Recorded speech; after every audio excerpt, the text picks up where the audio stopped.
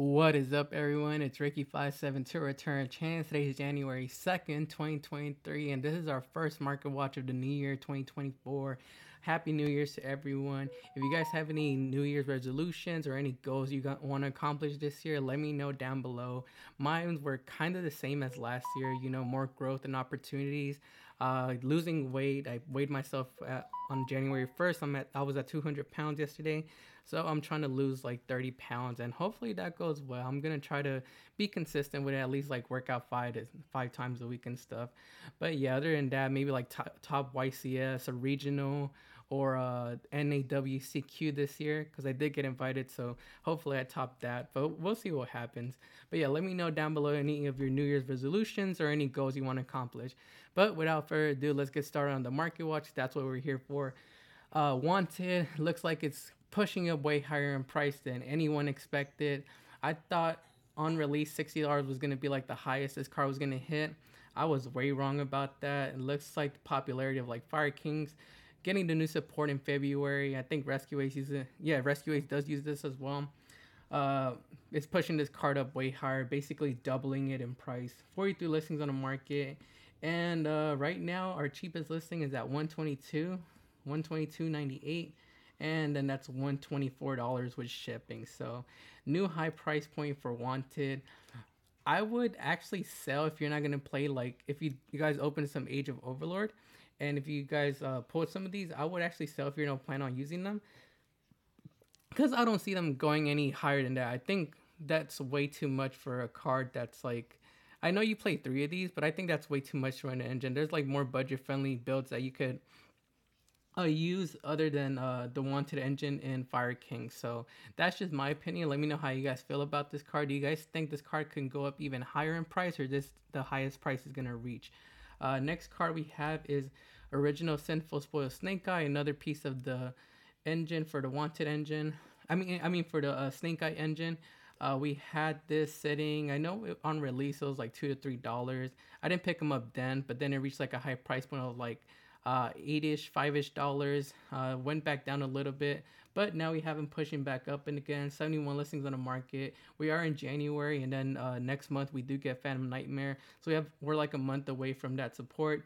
765, 769, eight dollars and thirty cents, 840, 845 and 749 so you do have the option of playing three of these if you don't want to go and buy the wanted uh, Seeker of Sinful Spoils, you do have the option of playing three of these instead of running three of those in one of these.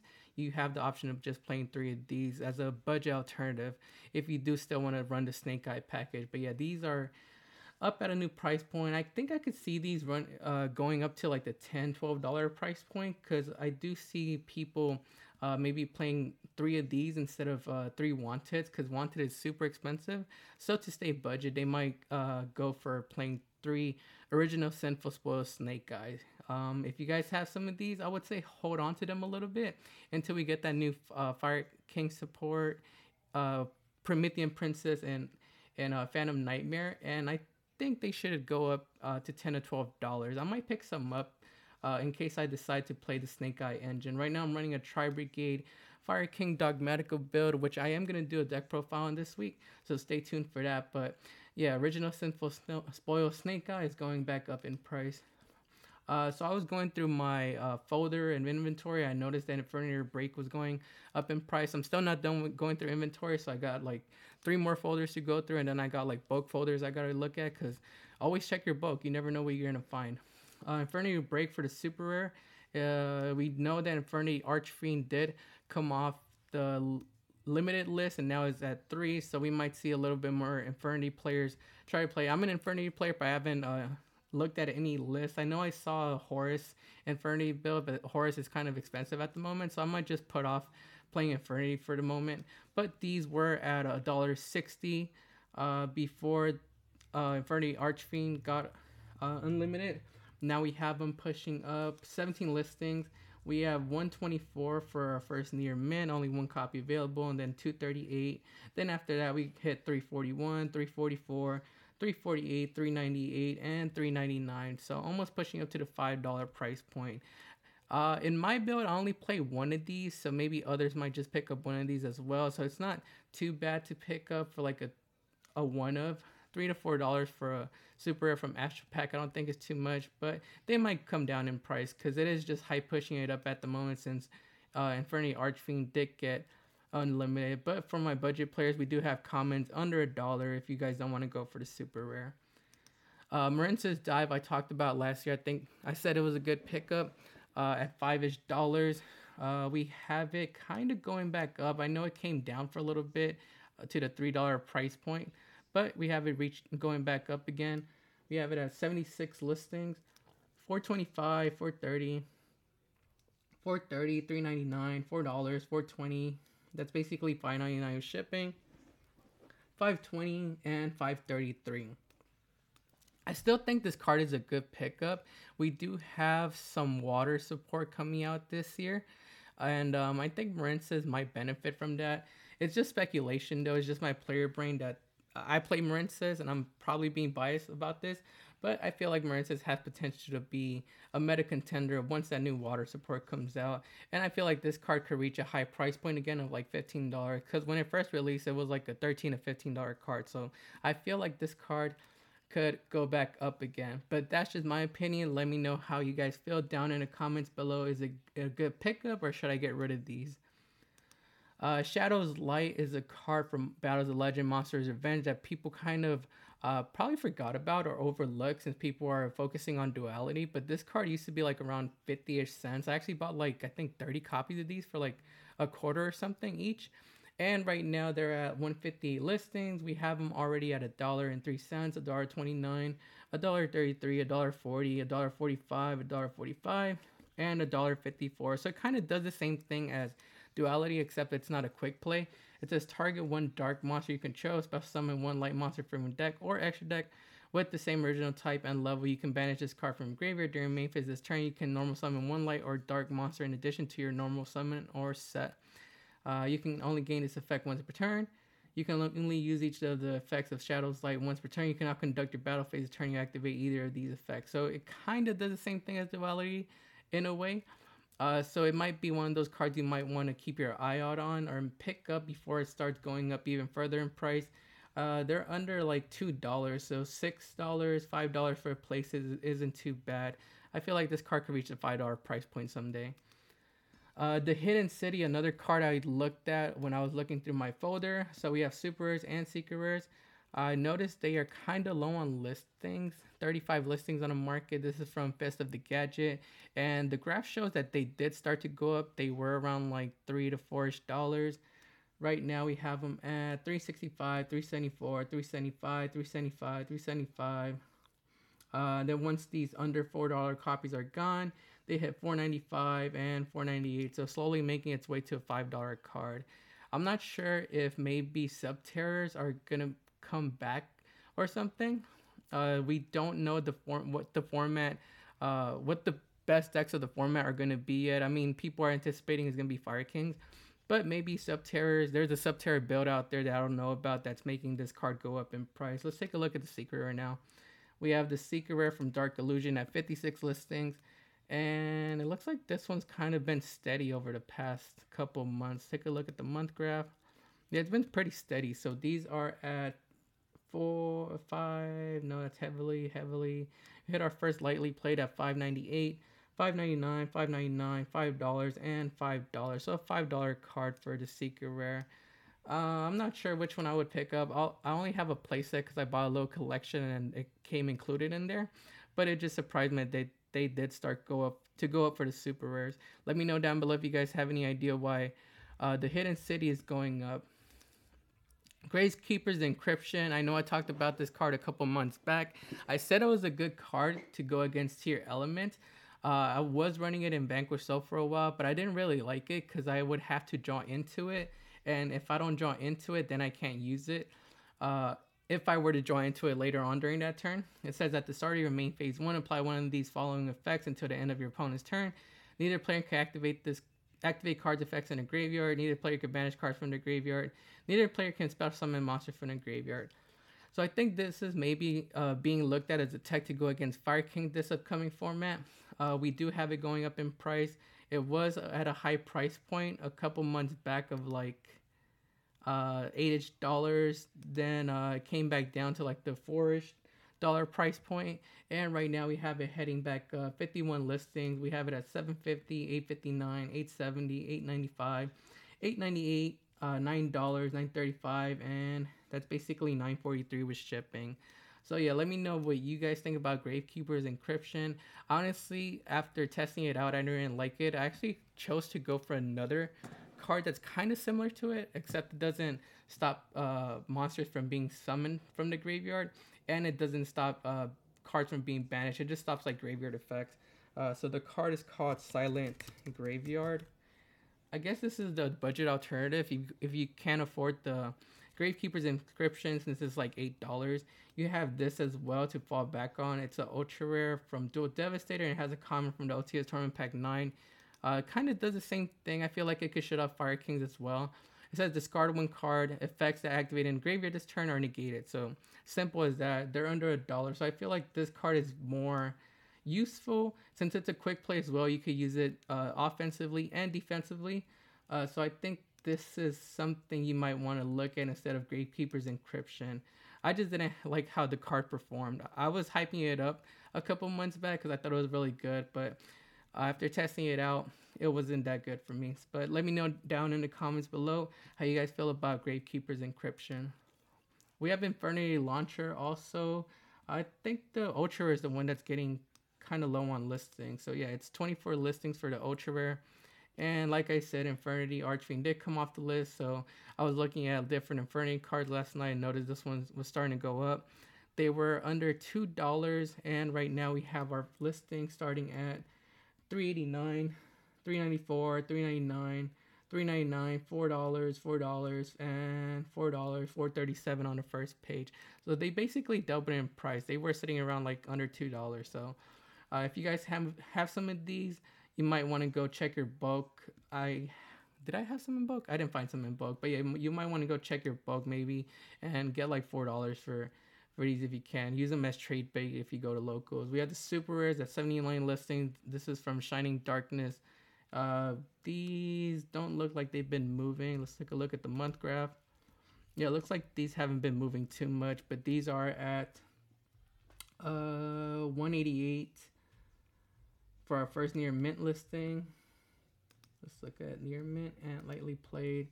Uh, 188, 281, 283, 285, 289, 289, and 297. They're like at three dollars. I, I would just go for the ultra rare since it's the higher rarity technically, and it looks much better if you guys are planning to pick up an Infernity Launcher. It's limited, so you only need one of these. I wish this card were to get um uh, unlimited instead of uh Infernity Archfiend. I think if this one were to come back, Infernities would have more potential to be like a roguish option to play. Uh, Accesscode Talker, we talked about a couple market watches ago. It looks like it did start to push up even higher. We have a the premium gold rare now reaching like the $40 price point. I actually sold mine uh, around like $43 last night because I noticed that I wasn't using Accesscode Talker in any of my builds. So I just decided to get rid of it. I feel like maybe it might come as a reprint in Battles of Legend in February in the reprint set, chapter one. I think that's what it's called. Uh, so I just got rid of it. I'm not using it at the moment, so I might as well cash in while I still can. But it looks like it is above the $40 price point. Then we have the secret rare from Battles of Legend, Crystal's Revenge. This one is currently at like 45, 45, 46, 47, 10, 49, heading up to the $50 price point. If you guys pick these up when they release around like $20 and held on to them, I think now would be a good time to sell. Uh, we have the Eternity Code ones at 40 listings. These are at 51.98, 51.98, $52. 53 heading up to 55.70. I think I would just rather pick up if I were to pick up an X code at the moment, I would go for the Eternity Code one since the Battles of Legend run, Battles of Legend one is also reaching the fifty dollar price point, I will go for the original print rather than the reprint, since I think this one might hold its value a bit more than this one if it were to get reprinted. I don't know if it's gonna get reprinted. Let me know down below if you guys think access Code might be in that set. Uh, did I talk about Zeus last week? No, I talked about um, number 90, the Galaxy Photon, the rank 8. But Zeus is getting a reprint uh, this mo- later on this month in the dual structured starter deck.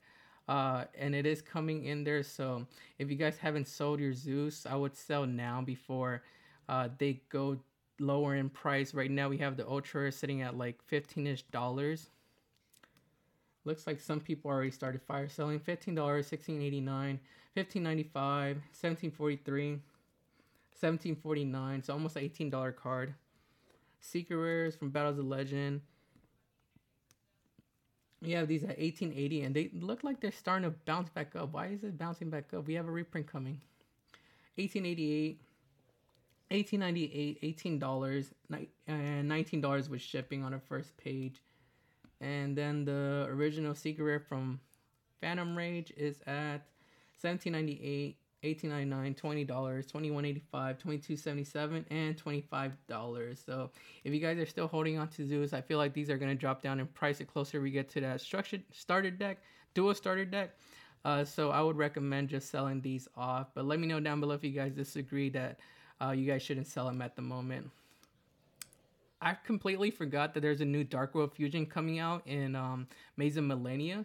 And so that made me go look at Dark Corridor because I know Dark Corridor is like the new uh, that they play in the Dark World deck. We had this sitting around like 12 ish dollars. I know it got hyped up a couple months back, but then people kind of forgot about Dark World and then started to go down. It hit a low price point of like 8 ish, 11 ish dollars. Right now, it looks like people are starting to pick it back up since pe- more people heard about that uh, Dark World Fusion monster that's coming out in Maze of Millennia. We're only like two weeks away from it.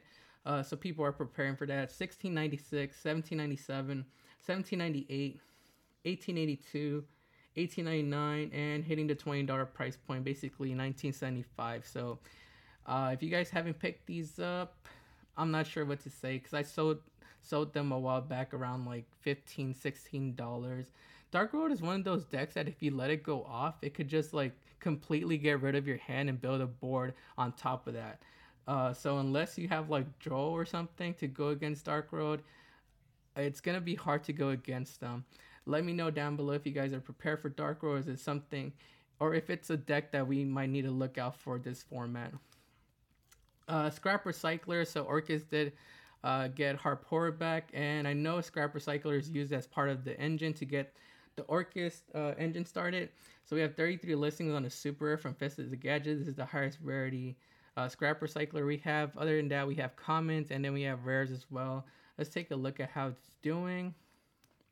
We have 33 listings for this card. This one was sitting around like a dollar sixty, and right now we have it at say near mint at 280, 285, 289, 289. Uh, 339 on the first page so it's starting to head up to almost a four dollar price point I think you use three of these in the deck because it is a starter. But if I'm wrong about that, let me know down below how many scrap recyclers you guys use in the Orcust build. Uh, but for my budget players, you do have uh, under like 25 cent copies available. You guys don't have to go for super rares. Uh, we have Absolute King Back Jack that caught my attention because I saw that a Labyrinth build uh, last year was running it and it topped with it.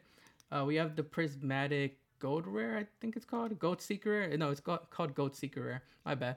Uh, so this one looks like it started to go up in price. They were sitting under a dollar. Right now we have them at 36 listings, and it looks like we don't hit a lightly played until we hit 294, 297, 299. Then on the second page we have some at three dollars, 399 uh, that's basically three something. 445 469 so slowly making its way up to the five dollar mark. You do have different options available. If you're a budget player though you guys don't have to go for that higher rarity. But it's one of those cards that you might want to keep your eye on since labyrinth is anticipated to be one of the uh, better decks of the format since they didn't get hit in, uh, in on the ban list but we do have commons, like I said, commons, commons, commons, and rares available from Tactical Masters if you do want to test out Absolute King Back Jack.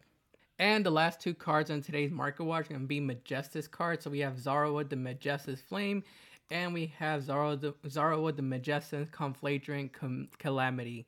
So we're to be starting off with Zoroa the Magistus Flame. It looks like it started to bounce back up in price. It was sitting around like $3.50, $3.60 at the beginning of December. Now we have it at 37 listings and it started to push it back up to $7.7075. We have a cheap listing right here at 556 then 676 676 792 794 and 75 795 so making its way up to the eight dollar price point i think that's because we technically didn't get announced that we have more magistus support but we did get announced that magistus and invoked uh, might be uh, might be getting a lower continuation. So maybe people are anticipating that we might get more support for them uh, this year, but it's not confirmed yet that we're getting new support. It's just uh, some post that was made that the lore is going to be continuing or something like that. So do what you want with that information, but these are heading up in price. I forgot what deck was using this. I think a Infernoble deck like months back last year was running Zoroa as a tech.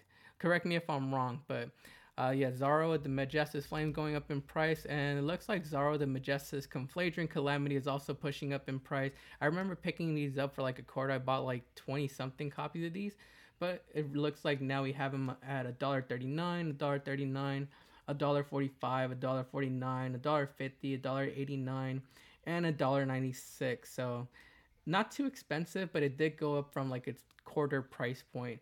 And we have the, let's see, at 74 listings. This card says if this card is synchro summon, you can equip one magistus monster from your extra deck to this card. Your opponent cannot, your opponent cannot activate the effects of monster with the same card type fusion, synchro, Xyz, or link as the magistus monster card in your spell and trap trap zone. If this card is sent to the graveyard, you can target one magistus card you control, destroy it, and if you do, special summon this card. So yeah, it, it, I know the Magistus strategy isn't that popular, but this card looks like it's pretty good since it looks like it negates uh, fusion, synchros, Xyz, or links. Maybe if Magistus gets like an easier way to uh, bring this out and attach these fusion monsters, I mean these Magistus fusion, synchro, exceed, or link monsters to this card, this card could be broken. Uh, but yeah, it's still kind of cheap at the moment. I would say maybe pick at least one copy up just to have in case you do plan playing Magistus if they do get more support. Because uh, I could see this card maybe pushing up to five dollars if it were to get uh, some support that could like turbo this out and makes it easier to attach these uh, monsters to it. But yeah, that's going to be it for today's Market Watch. Make sure to like the video and subscribe to the channel. Uh, go follow us on Instagram, TikTok, and X at Return Your Chance. This is Ricky572, and we'll see you guys next time.